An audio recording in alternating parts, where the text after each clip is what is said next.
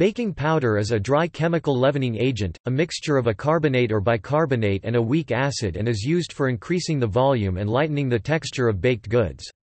Baking powder works by releasing carbon dioxide gas into a batter or dough through an acid-base reaction, causing bubbles in the wet mixture to expand and thus leavening the mixture.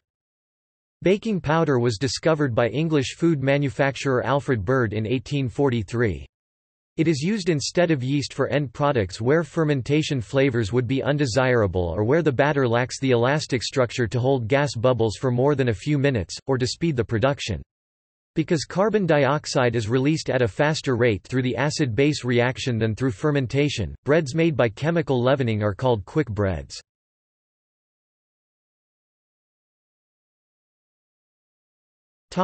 Formulation and mechanism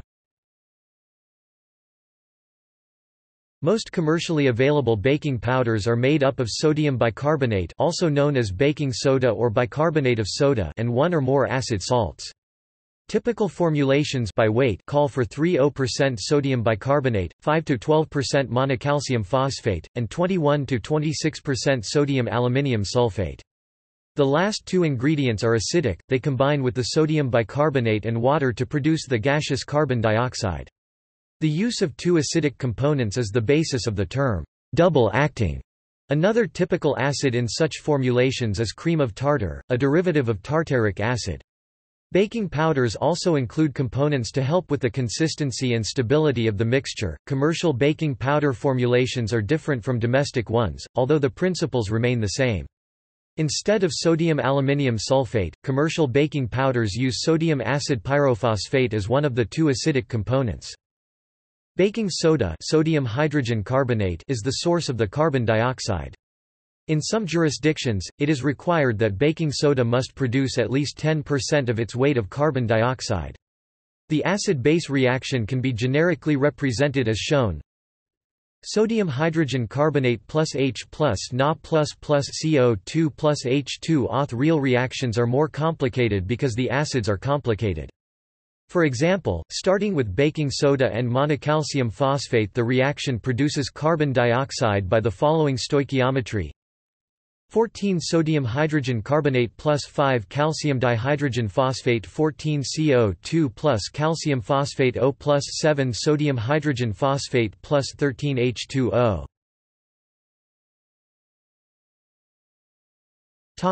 Starch component Baking powders also include components to improve their consistency and stability. The most important additive is cornstarch, although potato starch may also be used. The inert starch serves several functions in baking powder. Primarily it is used to absorb moisture, and thus prolong shelf life by keeping the powder's additional alkaline and acidic components dry so as not to react with each other prematurely. A dry powder also flows and mixes more easily. Finally, the added bulk allows for more accurate measurements.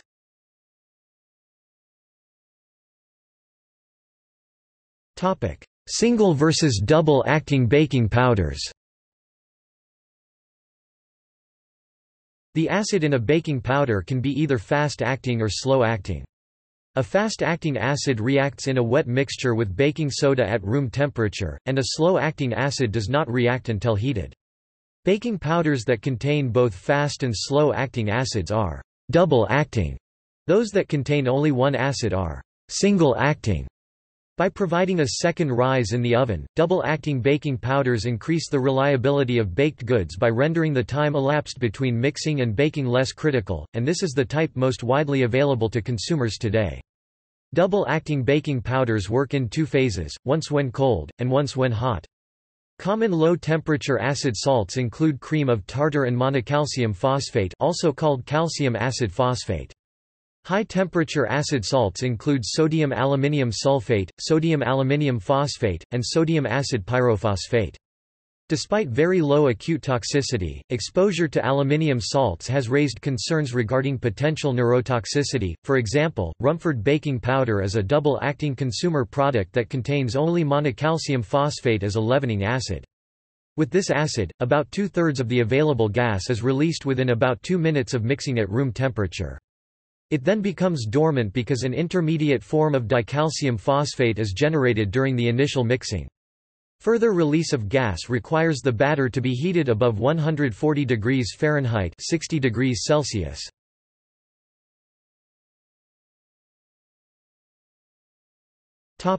History Early chemical leavening was accomplished by activating baking soda in the presence of liquids and an acid such as sour milk, vinegar, lemon juice, or cream of tartar.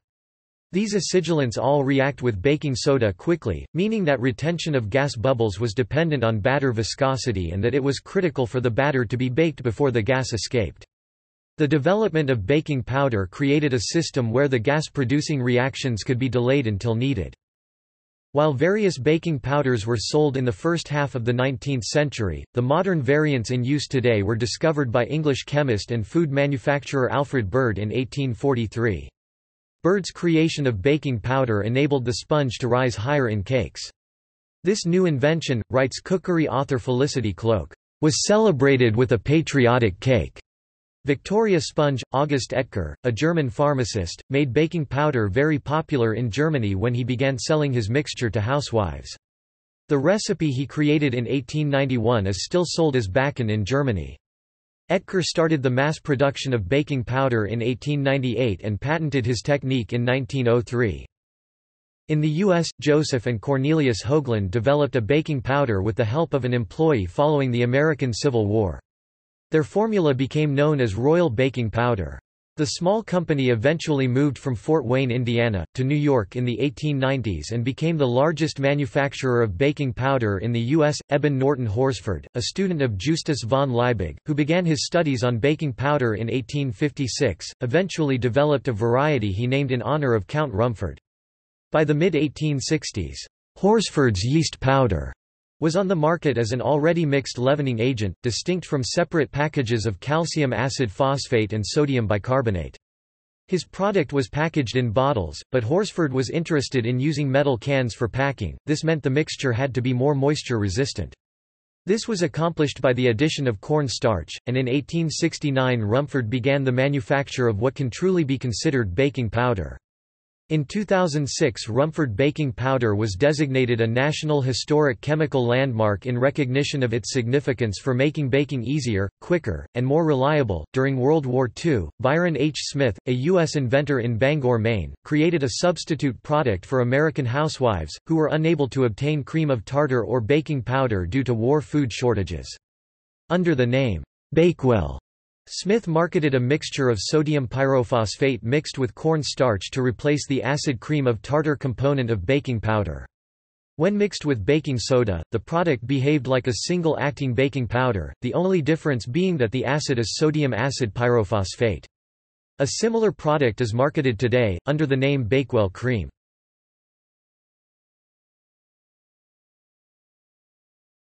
How much to use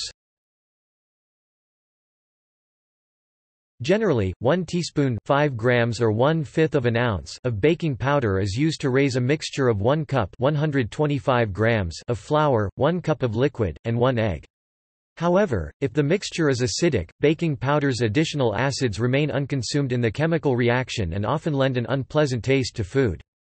High acidity can be caused by ingredients such as buttermilk, lemon juice, yogurt, citrus, or honey. When excessive acid is present, some of the baking powder should be replaced with baking soda.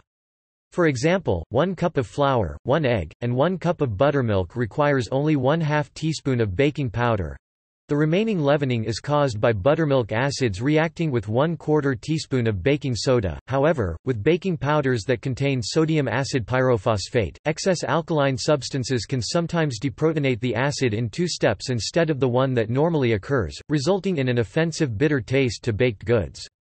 Calcium compounds and aluminium compounds do not have that problem, though, since calcium compounds that deprotonate twice are insoluble and aluminium compounds do not deprotonate in that fashion.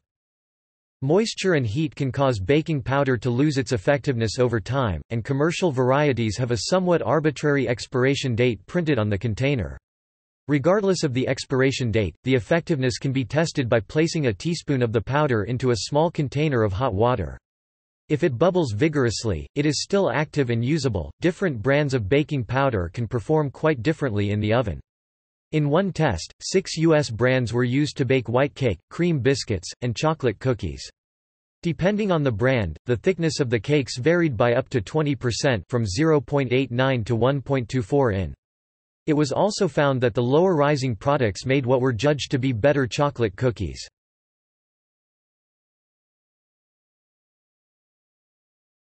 Topic: Substituting in recipes.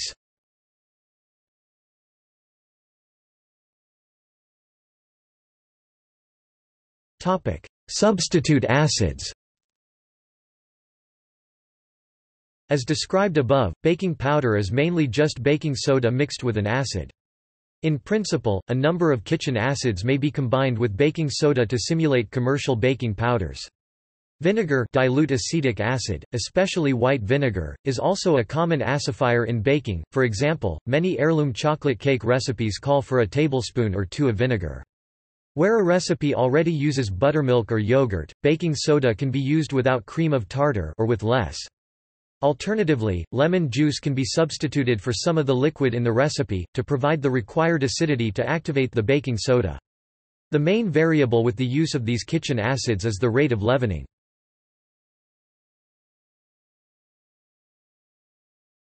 Topic: Aluminium compounds.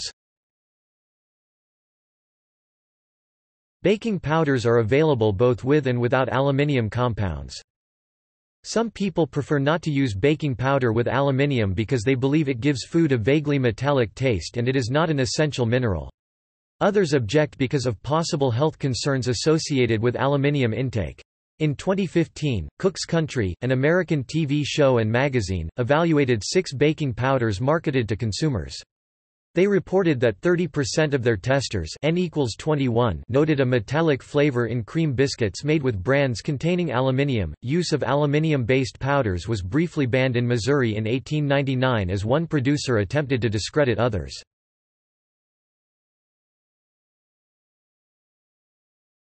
Topic: See also. Bakewell cream. Calumet Baking Powder Company. Clabber Girl. Dr. Oetker Irish soda bread